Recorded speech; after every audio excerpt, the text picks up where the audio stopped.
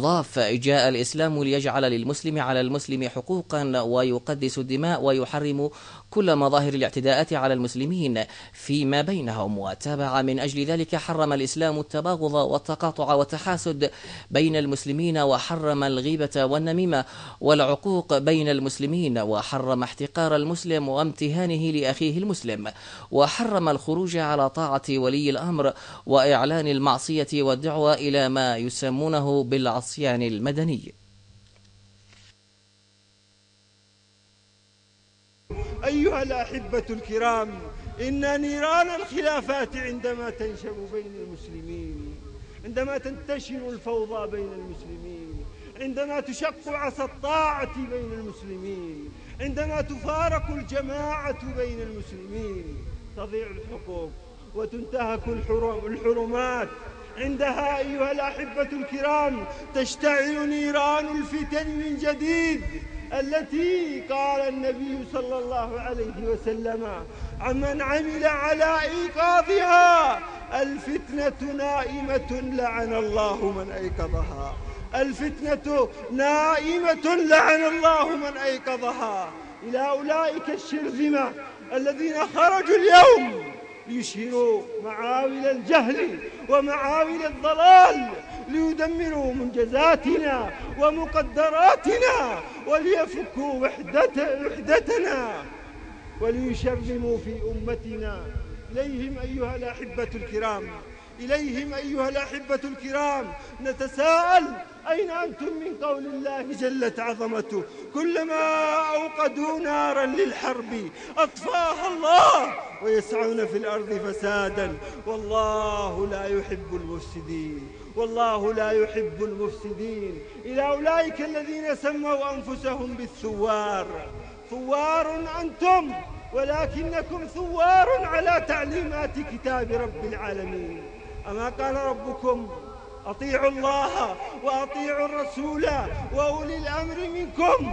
فإن تنازعتم في شيء فردوه إلى الله ورسوله. إن كن والرسول إن كنتم تؤمنون بالله واليوم الآخر ثائرون أنتم على توجيهات كتاب رب العالمين ثائرون أنتم على توجيهات نبيه المصطفى الهادي الأمين فقد قال في الصحيح اسمعوا وأطيعوا وإن أمر عليكم عبد حبشي رأسه كأنه زبيبة قال صلوات الله وسلامه عليه في الصحيح يا من عميت عيونكم فما عادت تبصر إلا ما يريده أعداء الله وأعداء الإسلام أعداء المبادئ وأعداء القيم. قال من أطاعني فقد أطاع الله ومن عصاني فقد عصى الله ومن أطاع الأمير فقد أطاعني ومن عصى الأمير فقد عصاني. قال نبيكم صلى الله عليه وسلم يوم سأله عبادة بن الصامت رضي الله تعالى عنه وأرضاه عن هذا الزمن الذي تكثر فيه الفتن والمحن قال له فما نفعل إن أدركنا هذا الزمن؟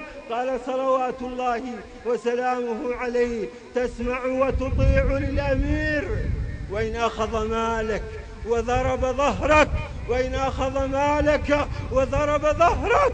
فهل كان صلوات الله وسلامه عليه؟ هل كان جبانا حتى يوصي المسلمين بالامتثال لأوامر الله؟ نعم أيها الإخوة الكرام وعن أبي بكرة رضي الله عنه إن دماءكم وأموالكم وأعراضكم عليكم حرام كحرمة يومكم هذا في بلدكم هذا في شهركم هذا وستلقون ربكم فيسألكم عن أعمالكم ألا فلا ترجعوا بعدي كفارا. إن إخوتنا يعبثون إن إخوتنا يعبثون بأرواح اليمنيين اليوم. إن إخوتنا يعبثون اليوم بمقدرات الأمة. إن إخوتنا يعبثون اليوم بمنجزات الأمة.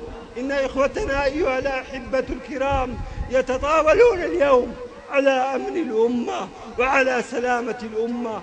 أما آن لهم أن يرجعوا وأن يعودوا إلى جادة الصواب. أما آن لهم أن يتقوا الله في الدماء التي سفكت وفي الأمانة التي هجرت. أما آن لهم أن يتقوا الله أن يتقوا الله في أمن أهل اليمن. أهانت على هؤلاء. دموع الأمهات الخائفات أهانت على هؤلاء. سلامة اليمنيين. أهانت على هؤلاء. بساطة المعتمدين المقبلين على الله. من يسألونه أمنه وأمانه. إليك رباه. إليك رباه. نشكو صانع صانع الفتن. العابثين بأمن الشعب في اليمن المفلسين فلا أخلاق تردعهم ولا ضمائر تناهم عن الدرن. قتل وهدم وتدمير بلا وجل ولا حياء من الجبار والوطن. اشكو إليك يا الله هؤلاء نشكو إليك شرذمة من بني جلدتنا تكبرت وطغت. وعلى ولي أمرنا وأمرها خرجت وللاحتكام لكتابك وسنة نبيك رفضت وإلى الشوارع والطرقات احتكمت وبشبابنا وشاباتنا قررت وبنهجها المسود ظلت وأضلت ولصلاتنا قطعت ولدمائنا يا رب الأرباب أراقت وللفتنة النائمة أيقظت اللهم إنا نشكو إليك أرواحا أزهقت ودماء أريقت وحرمات انتهكت وأطفالا يتمت ونساء رملت ومصالح عطلت ولسانا بترت وأبوة وأبوة أهينت وبأقدام أبنائها ركلت فلا حول ولا قوة إلا بالله العلي العظيم. يا هؤلاء يا من تحملون اليوم معاول الهدم فاليوم تستطيعون أن تصلحوا ما كسرتموه اليوم تستطيعون أن تعيدوا مراجعة الحسابات. اليوم تستطيعون أن تحاسبوا الأنفس قبل أن يحاسبها رب السماوات. اليوم تملكون من أمركم أنتم وغدا لا تملكون شيئا. أنذركم أنذركم يا دعاة الفتن. أنذركم يا دعاة الخراب. أنذركم يا دعاة الخراب والدمار. يوم لا يملك نفس اليوم لا تملك نفس لنفس شيئا. والأمر يومئذ لله. أنذركم يوم يفر المرء من أخيه وأمه وأبيه وصاحبته وبنيه. لكل امرئ منهم يومئذ شأن يغنيه.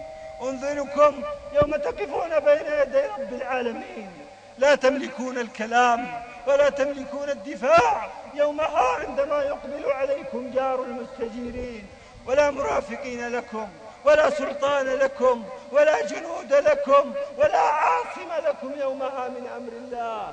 بماذا ستجيبون؟ وماذا ستردون عليه؟ نرجوك يا الله نرجوك يا جار المستجيرين يا مان الخائفين أن توقظ فيهم الإيمان والحكمة أن توقظ فيهم يا رب العالمين الفقه اليمان.